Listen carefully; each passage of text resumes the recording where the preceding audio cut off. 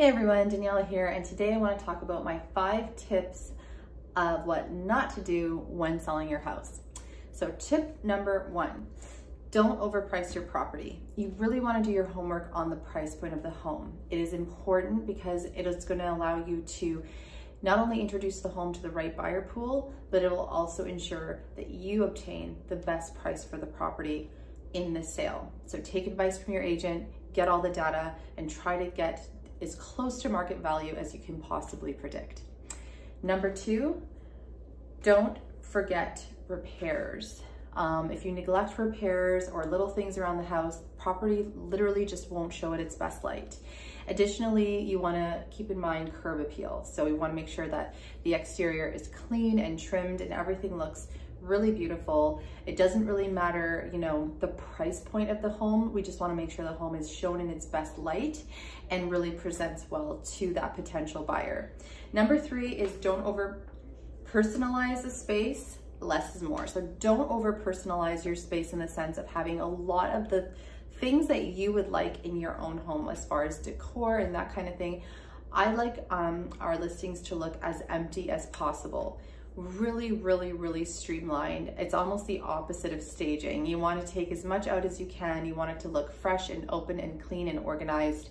Um, so we don't want to have too many of your own personal items. This includes religious items. This includes anything that might deter a buyer from considering the property.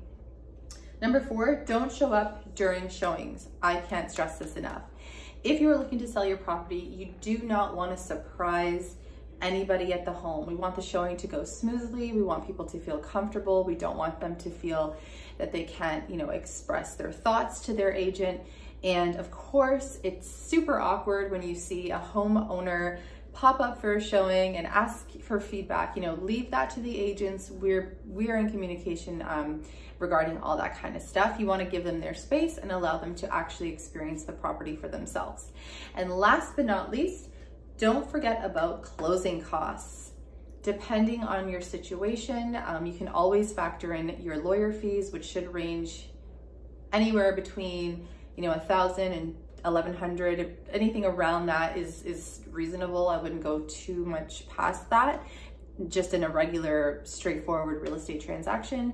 Um, so lawyer fees land transfer tax if you're purchasing as well and any other costs. Movers moving trucks storage units, anything along those lines. You might even want to have professional cleaners come into your new home and clean the property and come into your home that you sold prior to closing to give it a once over as well. So factor that all in and don't forget.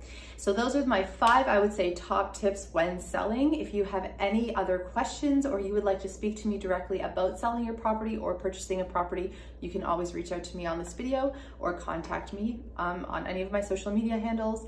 Daniela Knighton Real Estate on my Instagram handle, or you can contact me directly from this website.